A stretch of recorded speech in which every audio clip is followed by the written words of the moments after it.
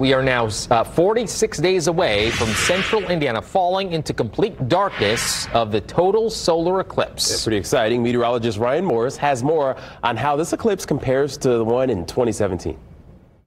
The United States will be lucky enough to witness its second total solar eclipse in the last decade come April 8th. Many across the country witnessed the spectacular August 2017 total eclipse, which was the first of the 21st century in the U.S. That begs the question how will totality be different with our upcoming eclipse? Almost two minutes longer than what we had in 2017. So, uh, you know, so it is nice. There's going to be over three minutes for most people in the path of totality. Totality will last 3 minutes and 36 seconds in Indianapolis, beginning at 3:06 p.m. During totality, the planets and stars you can see under clear skies will be different than the 2017 eclipse.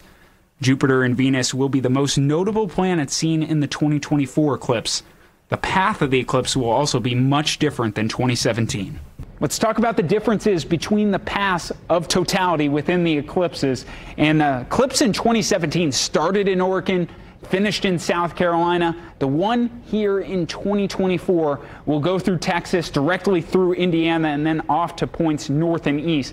A couple lucky locations in southern Illinois that were in the path of totality in 2017 will also be in the path of totality for 2024. There will be a few changes. In the 2017 eclipse, we weren't quite near what's called solar maximum, where we have maximum activity of the sun.